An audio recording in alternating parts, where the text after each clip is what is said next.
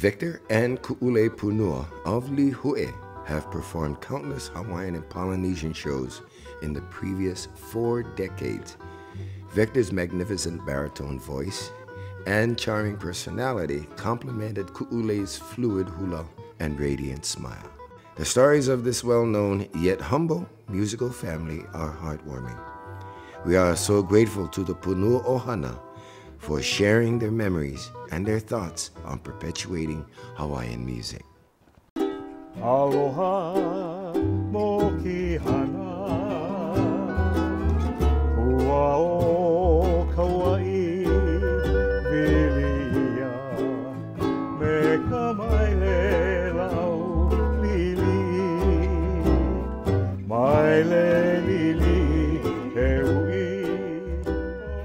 in 1953.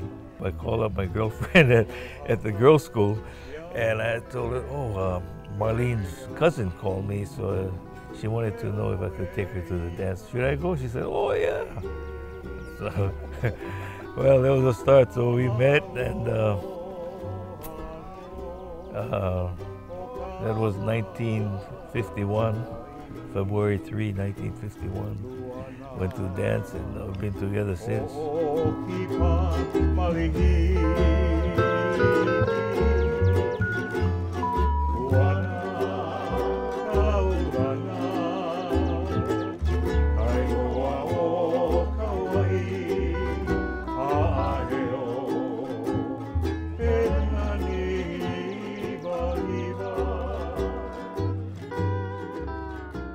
Wife was dancing in Honolulu, you know, for Kent Gerard, and uh, they were professionally, and they were dancing at all the, the Waikiki hotels, Queen Surf and the Moana and the Royal and all that. And then she also danced with uh, Io, Auntie Io, at the the Beachcombers. And uh, she was still a minor yet. But in 1954, I moved to Kauai. My wife was expecting Victor Jr. then, and he was born in October. And then about November, December, one of the uh, the Yasuda twins, you know, this Yasuda store in Kapaa, they asked my wife if she would teach them hula. So she started teaching them. They were her first students. Every time they ask her to dance, and they says, oh, oh, do you have a musician? She says, yes. And she's come home and say, uh, you're going to play for me. I said, I'm not. Because I, I, really, I, I, I, couldn't play that good, you know. But anyway, when we went to a function and she's, she goes up, she said, my husband's to play for me, so I got to come up there. Started playing like that, you know. That was really, now it's fun, but then it wasn't fun. my grandfather started with the Royal Hawaiian Band about, oh, probably about 1900. And then uh, he retired in 1931, and he was, he was uh, doing a lot of the arrangements. He arranged music and he wrote music for the churches he was asked to be uh, a leader, and he directed the uh, Kamakua Maoloa Church in Kalihi and the Kaneohe Congregational Church. And uh, he was asked to uh, help other other churches, and which he did. And he and he and my grandmother both really, and uh, she would go on the piano and then start playing, and he would write all the notes. And uh, if she had a new song, what she'd do is she didn't she didn't really write the song. She would say, do, do, mi, mi, do, and he would pick it up and write it. So the two of them were really, uh, you know, they, they loved music. She could play any instrument.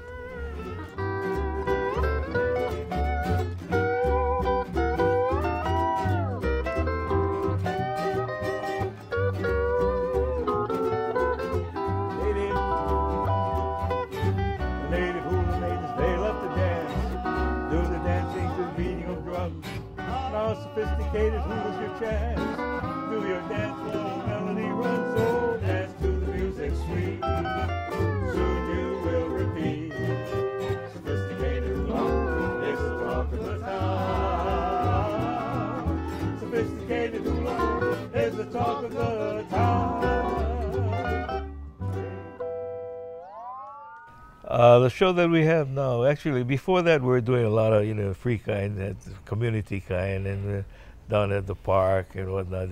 She had her students, so they all could dance.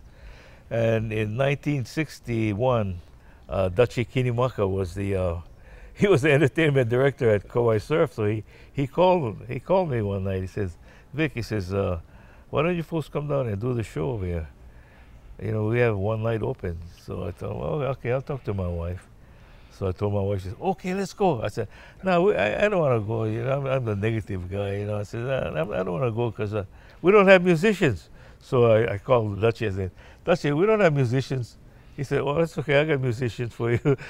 you can play with them and Bill Lucidarm and Jimmy, Jimmy Watson, uh, three of us. And so we started like that. So we went one night. He liked it so much, he says, gee, can you guys play more nights? So I said, well, yeah, I guess so. So we started doing two nights, three nights. Pretty soon we were doing six nights. So we were there for 12 and a half years at Kauai Surf. And then from there went to Club Med for another five years. And then another 12 and a half years at Coconut Beach with Sheraton and Holiday Inn. Well, all our kids were all in the show, so, you know, they, they were ready. How important do you feel that uh, to preserve old Hawaiian music? Well, I, I, think it's important and it's, it's nice if, you know, you could hand it down to the children and all. And it's actually my wife that's really the one that, that, that uh, carries on those traditions and, you know, because of her hula and gets us all involved in that. Yeah. Just like how my father got involved. My mother said we needed a bass player. I didn't know how to play bass. So I turned on the record and listened and kept playing and playing and playing. Because even at Kamehameha schools, I was primarily, I guess, involved with the, the glee club and the band. So I played instruments. Like my grandfather, I played the saxophone. Uh, and then I was in the glee club. And uh, I think my interest was more in um, the directing and conducting rather than uh, rather than actually being one of the musicians. Well, I'm fortunate because I'm the youngest. I've uh, I have a lot of historians to check my dates against, you know, and they do correct me when I'm when I'm a little off. But I think my introduction was uh, uh, being um, called up to the stage to play the cracker cans. You know, the, that part of the Tahitian ensemble there. Uh, be the cracker cans, and I had my own cracker can that one of the musicians painted. Yeah, painted orange for me, and you know that's a big deal. I mean, it's almost like you're a rock star today. Yeah. Mom would always uh, encourage me. She would always tell me, you know, you got to go learn the steel guitar, and um, you know, brings up another interesting fact. I was more interested in listening to Bob Marley and you know the rock and roll scene. Mom was persistent. She always told me, no, you got to learn from steel guitar. And, you know, um, there was just a handful of steel guitar players, I thought, back in the late 70s, 80s. And so today I can see, you know, how a lot of that has passed on. I mean, really, just by ear. Here I was about 20 years old, and at that age, really looking back and appreciating the music that they played, you know. So it's not really going forward and being interested in other types of music, but really listening to the to what they were playing and, and seeing how uh, complicated and intricate they played and how much it blended so well together uh, in those old, old recordings of uh, Hawaii Calls and uh, you know Uncle Barney and Jules Assi. Mom and Dad really instilled how to you know make it ohana I mean, my wife dances too, and our son, uh, you know, they, they just, if they're around, they're going to do something. They're going to put one malo on and they're going to play the drums or, you know, like Wallace, he's still carrying it on. And uh, so all of them was good. What we can learn is up to us and how far you want to want to take it. How do you feel about the preservation of Hawaiian music? Uh, well, I feel uh, it's very important I feel it's important because I think more so because I, I know I've been exposed to it. I've uh, learned how to play, you know, the steel guitar and uh, the different instruments. So it's important for me as, somebody knows how to do that to pass it on. Um, I think as far as the other, you know, the, the our, our children and the next generation learning it, as far as uh, you know having that appreciation for the music i think really is something um, caught yeah rather than taught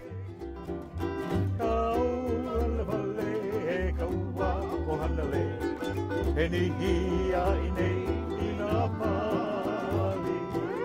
E ho pili anga me kaua e, me i pono he no hea i ka mōli. Ka hoene mai no a ke kai, me ala e i mahi ana. E ho i mai no kauala e pili,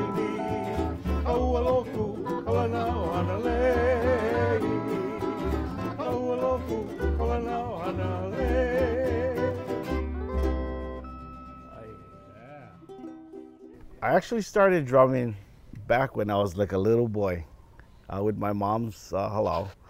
And uh, I guess I was, was kind of the designated drummer for the family. So over the years to the 70s, and I'd be the drummer. And like my dad said, my mom always had some of the top people come uh, throughout Hawaii.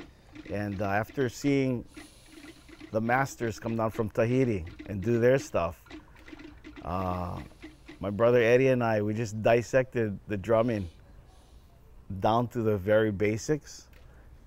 And uh, from there, we started training our drummers. I think I got a lot of my mom's genes. so what happens is uh, my wife, uh, she dances the hula, and uh, I'm kind of like my mom, where always asking my uh, my wife and my sons to get involved with the show. So my wife dances, and she also teaches the hula, which I, because uh, she actually learned the ancient hulas and the modern from my mom firsthand. So she, my wife Shauna, is actually our hula connection to my mom. And uh, amazingly, she's done a fantastic job there. And um, uh, I do the chanting, and uh, my sons are involved as well. Our halau is also very involved with the um, traditional Hawaiian music, as well as um, the ancient dances. So we uh, were privileged enough to um, perform at the and invited to the Merrie Monarch. And your opinion about the new music today? The new music that the Hawaiians, uh, the young kids are playing? I just had a chat with um, some young uh, upcoming musicians, and they're very big in the in the reggae music. uh, my opinion is those young Hawaiians and those of our ages and even um, kupunas, we really, really, really need to encourage, and those younger ones need to uh, take it upon themselves to learn the Hawaiian music, play their Hawaiian music first. They can always play reggae music, rock and roll, whatever it is, jazz. But um, if our people do not take hold of it and malama the music, it's not going to be around. That's that's the bottom line. So I encourage the uh, young people to don't be ashamed of the Hawaiian music. Play the Hawaiian music, and they will really see that they'll have an effect, larger effect on kupunas, children, youth, people of all ages.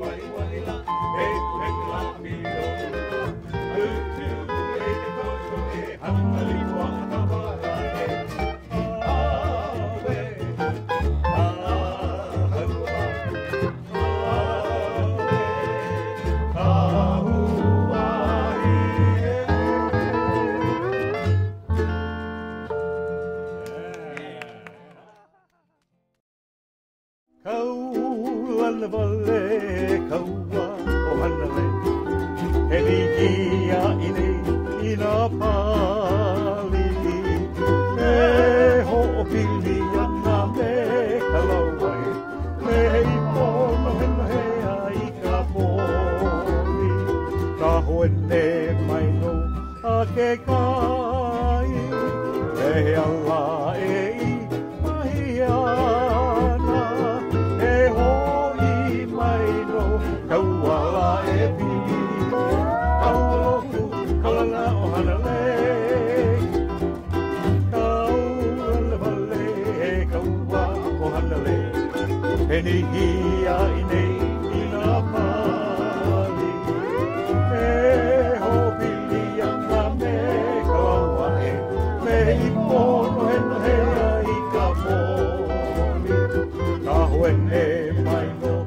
ke kai Me ala e i mahi ana. E ho i mai no Kau ala e pini au aloku kau ana o ana le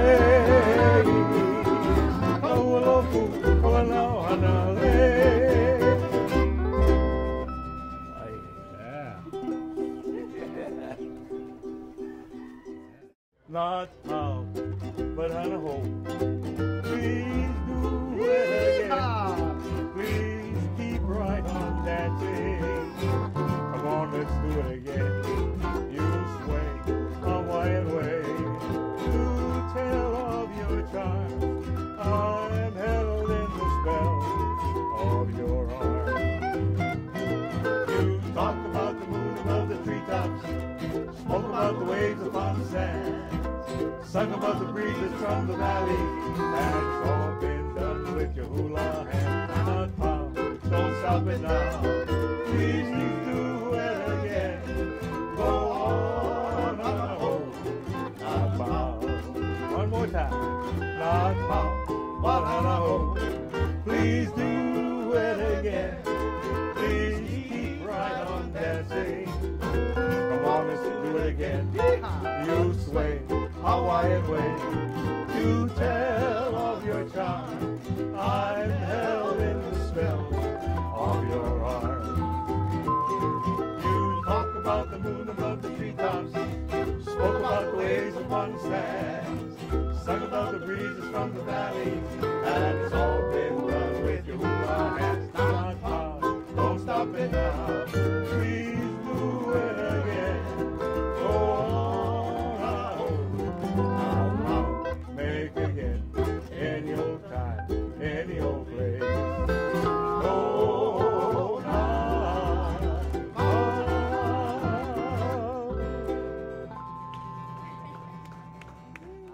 Aloha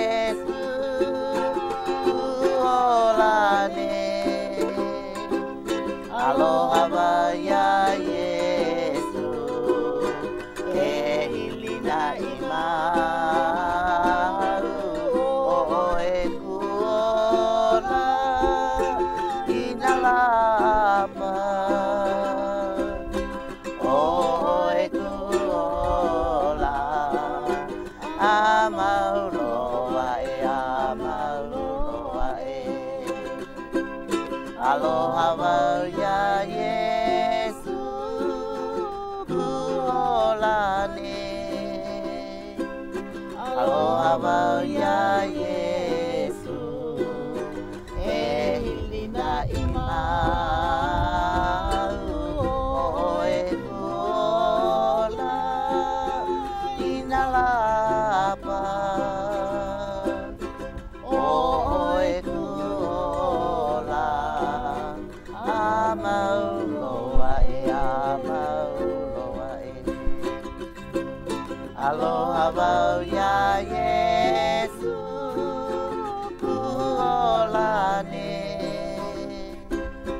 Aloha mau ya Yesu